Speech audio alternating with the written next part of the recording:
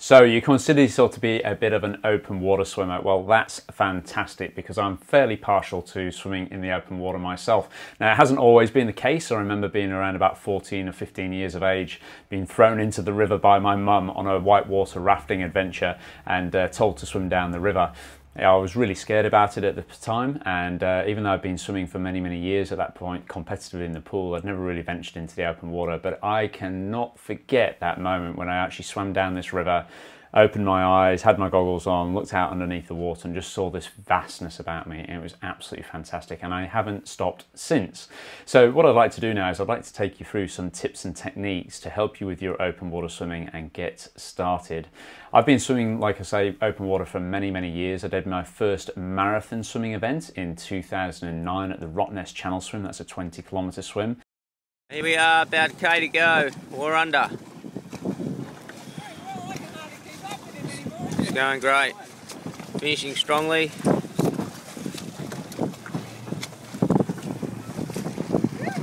Here's the finish line. And from there, I decided to train up and do the English Channel, which I completed in 2011.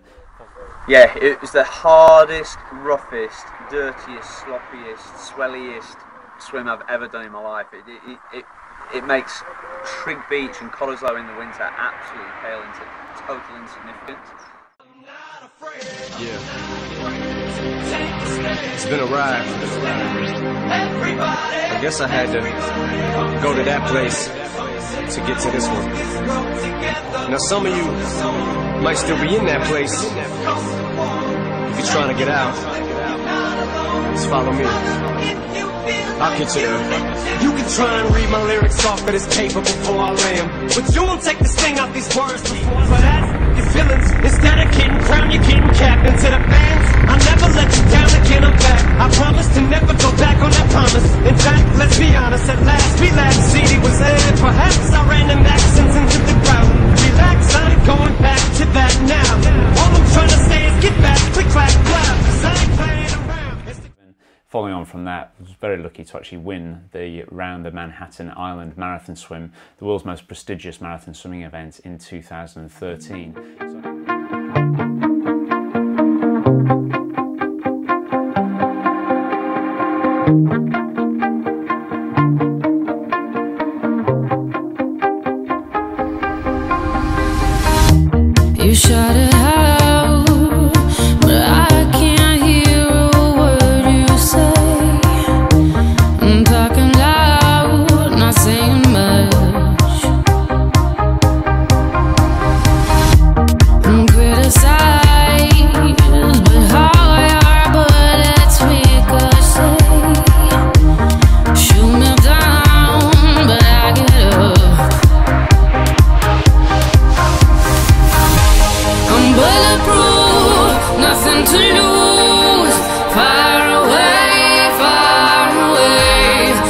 Ricochet, you take your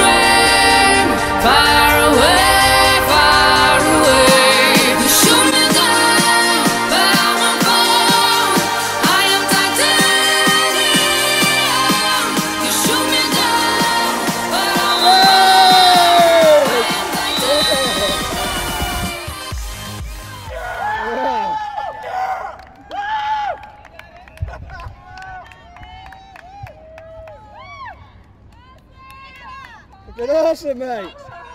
So I've got a fair bit of experience swimming in the open water, but even to this day, I still get a little bit nervous every now and again. So the first point I'm going to really bring up here is to try to keep a cool head.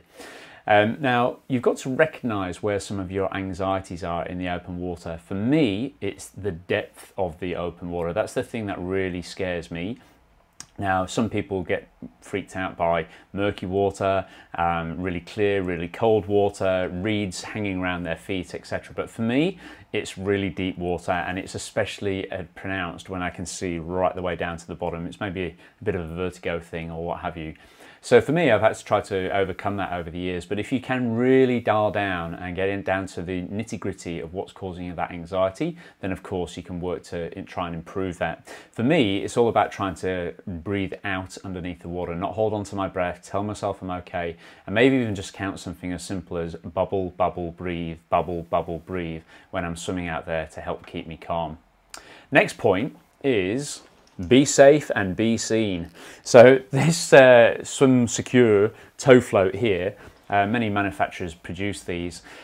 I was a little bit skeptical when I first saw these on the market, thinking, oh my God, I don't really want to tow anything behind me. I spend my whole life trying to reduce drag in the pool. Why would I want to tow something behind me? But something like this, if you're going to be swimming by yourself or even doing some longer swims, this one actually takes a water bottle in here. You can actually tow it with you and make sure you've actually got some food and fluid with you whilst you're swimming. This obviously allows you to be seen against other boats and in case you have any issues, etc., you could potentially hold on to it. They're not rated for full rescue services sort of thing, but um, having something like that with you is really good. And trust me, I've done a lot of experimenting and testing just over the last few years, and the amount of drag that these things create is really quite minimal. So don't be a drag snob like me. My third point is really about cold water adaptation. Now, this is something which maybe it's because I'm from the UK, that's what everyone tells me down here in Australia, but it's something which I've actually taken to really quite well, and I actually relish the thought of getting into really cold water. Now, I've never done an ice mile or anything like that, so I can't profess to having done anything that crazy, but I've certainly done plenty of long, long swims in 10 to 12 degrees of water, which is pretty cold uh, in my training up for the English Channel, and also the Manhattan Island Marathon swim, that was 14 degrees Celsius. So what can you do about it? Well, to me, I've always thought about it as being a bit of a state of mind dealing with the cold water. Now, that's not to say that you can suddenly jump in and just tell yourself you're going to be all right, and you will be. But over a series of training programs and sessions over a period of months basically, I managed to talk myself into the idea that I was going to be all right, I was going to stay cool and calm. And similar to actually helping try to reduce anxiety, what I try to do is actually talk myself through it through breathing out underneath the water and keeping calm and relaxed. Now, everybody feels cold out there, but I think when you've got an objective, an, an idea of, okay, I want to get from A to B, and that's part of your process, then I think when you're actually that focused, you can actually help to stave away some of these uh, anxieties regarding cold water. The other tip about this as well is that sometimes I see a lot of marathon swimmers swimming over here in Perth for the Rottnest Channel swim, and we're not talking very cold water there. We're talking anywhere between 22 and 24 degrees Celsius, but we still have a very, very high instance of hypothermia. Now, when you're being supported by a boat, it's very easy to stop and take a drink, but if you're stopped too long, your body temperature is going to plummet, so don't do that. Make sure you actually keep yourself moving as best you possibly can. Now my fourth and final tip for open water swimming and improving your open water swimming is all about nutrition. Now, when you're training for something of anything that's going to take you between 1.5 hours and above, you need to start to consider nutrition. I mentioned how I use this tow float myself with a water bottle in there, maybe a few gels, etc. But if you're not actually refueling probably every around about 25 to 30 minutes on a swim of two and a half, three, four hours and longer, you're going to run into a few problems with respect to running out of energy. Even keeping hydrated as well. It, it's one of those things, swimmers, we often don't think we get dehydrated because we don't feel like we're actually sweating when we're swimming. But of course we are. We are actually perspiring, we are actually losing fluids and we need to actually replace those. So make sure that you set yourself a, a structured routine. For me, what I like to do is I like to set a two kilometer lap. It takes me just under 30 minutes to do that lap. I'll leave a bottle there, I'll swim out and around, come back, have a drink or have a gel and then go out and again. And one of the things that I've actually really learned over the years for open water swimming is to make sure that I don't overeat or overhydrate. Overeating sounds like a funny thing. How can you possibly do that when you're swimming in the open water? But I had a very nasty experience my very first Ironman where I took on too many carbohydrates and they just got stuck in my stomach.